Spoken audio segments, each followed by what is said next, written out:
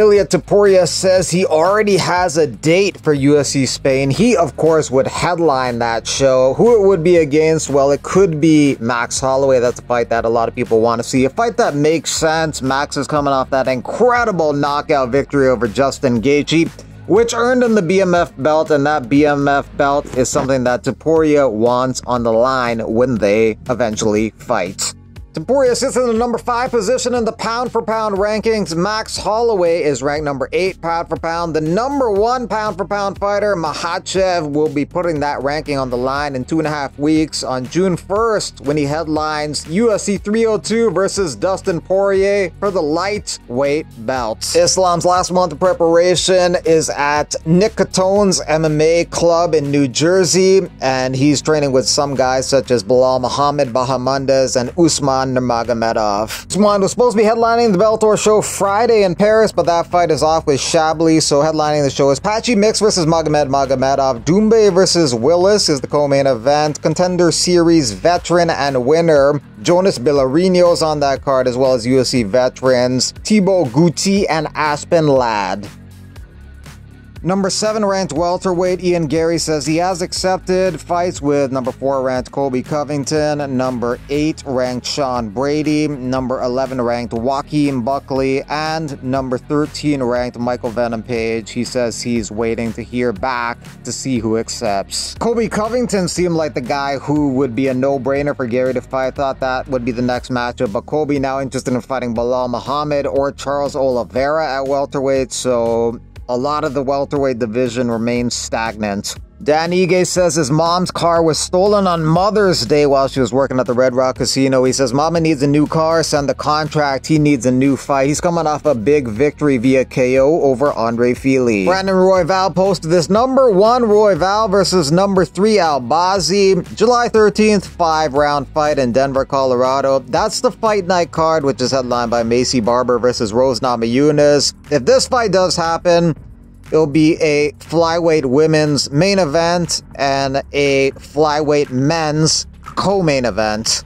Amanda Lemos is going to be taking on Virna Jandiroba on July 20th. Amanda Lemos is coming off a win over Mackenzie Dern, and Jandiroba is coming off a victory over Lupita Godinez. The UFC has switched up a couple matchups in the flyweight division. Now Alex Perez takes on Taira in the main event of the June 15th card, and Tagir Ulanbekov takes on Joshua Van. Originally, it was Taira versus Van and Perez versus Ulanbekov, but now that's changed. These new fights will both take place June 15th at the UFC Apex. This will be actually Perez's second main event in just around a month and a half. He's coming off a big victory over Nicolau, where he got a second round KO and picked up a performance bonus. With the victory, Perez moved into the number five spot in the flyweight rankings, so this is a huge opportunity for Taira. He's ranked number 13. With the victory, he could break into the top five. Shauna Bannon taking on Ravina Oliveira at UFC 304 in Manchester on July 27th. Tom Aspinall expected to be the main event of that card. If it isn't against Cyril Gane, maybe Curtis Blaydes.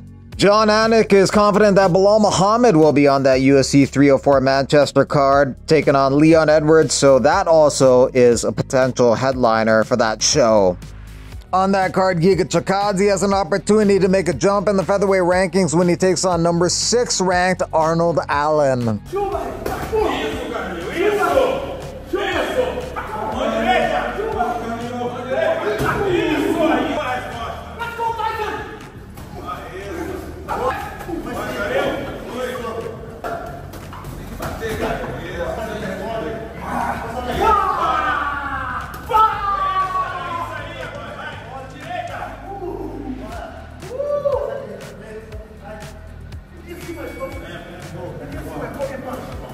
Tricoli is out of this fight on Saturday, so Umar Sy will now take on Tuco Tokkos, who takes this fight on just four days' notice. Waldo Cortes Acosta said he wanted to bang in the middle of the second round, but Despaigne didn't want to do it. He just wanted to kick and BS. But two seconds after this, Cortes did clinch and go for a takedown. McCann's going to be taking on Bruna Brasil July 27th at UFC 304 in Manchester. Cody Brundage recently lost to Bo Nickal, but he already has another fight scheduled. He's going to be taking out Abdul Razak Alhassan on July 13th. That's the fight night card in Denver, Colorado, which is going to be headlined by Maycee Barber versus Rose Namajunas. Denver native Drew Dober is looking to get on that card. He last fought in February where he lost a decision to Renato Moicano. Hey y'all, I'm not gonna get the Sean Woodson fight. I know he called me out, I know I accepted it, but the UFC has basically told my management that they had something else lined up for me. Um, I'm not even gonna worry about it. I don't know who it is, I don't know when it is, I don't know where it is. I don't really ask stuff like that. Just wait and see what they're gonna tell me to do. But um, yeah, I'm not gonna get the Woodson fight. It's not my fault. There's nothing I can do about it. I'm glad he called me out because I wanted that fight too. But that's all right. Something something better is coming. Somebody's 8-0 has got to go. Nyan Jargal Tumandambari versus Andre Lima. Both fighters are 8-0 and take on each other at UFC 302 June 1st. It's Mongolia versus Brazil in Newark, New Jersey.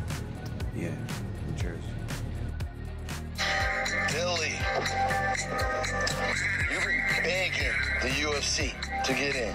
You've been begging Uncle Danny to get in. You've been begging. Well, listen, beg me and I'll get you in. If you beg me, I'll hit up Uncle Dana and I'll get you in. But you gotta beg. If you don't beg me, you can't get in. Just like candy. Nah, don't ever look gay in life. Let's see that bump, baby.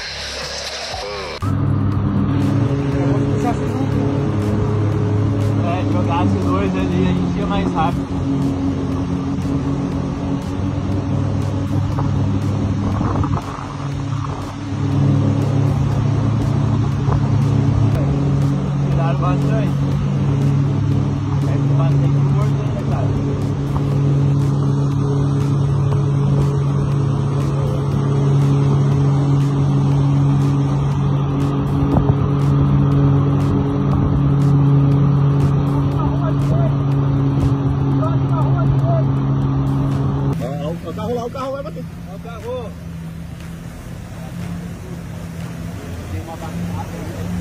Aí. Veio ajudar e.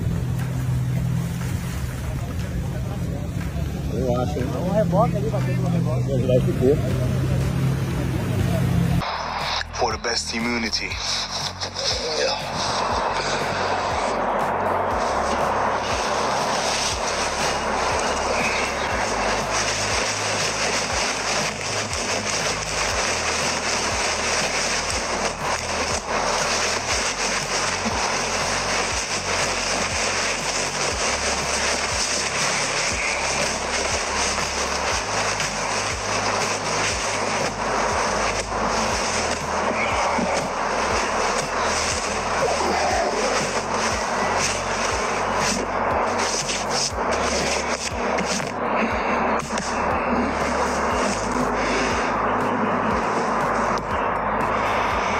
Will be a nice night. Stay away from me. Don't say a word to me. I don't want to talk to you right now.